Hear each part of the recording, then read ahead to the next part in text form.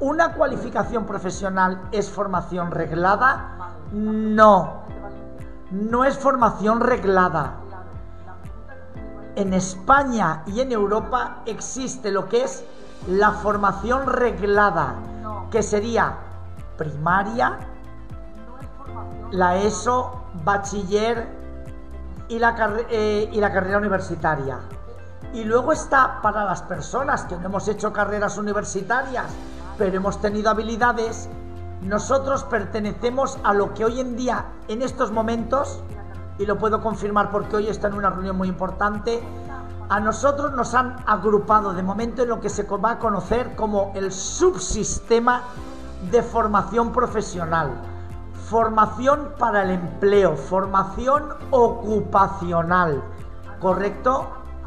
Que es tan digna como la formación profesional reglada, pero no somos hoy por hoy lo mismo.